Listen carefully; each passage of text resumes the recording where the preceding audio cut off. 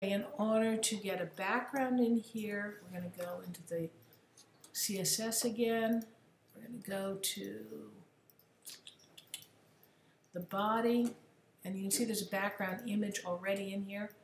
So I can just take that out, and I think I have rainbow images back right there. And that's a big, big image. That's 2,000 by 2,000 image. If we look at this in a live format,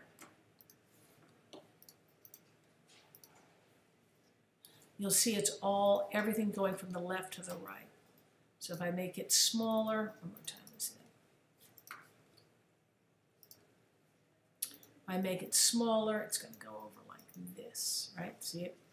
If I wanted to center that, I would go into here again, and I would go to, whoops, wrong one, source code, and I would go to background, position,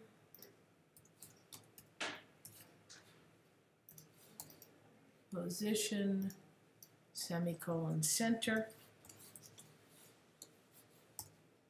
and that will center the image on there. So let's go back to show this in Firefox.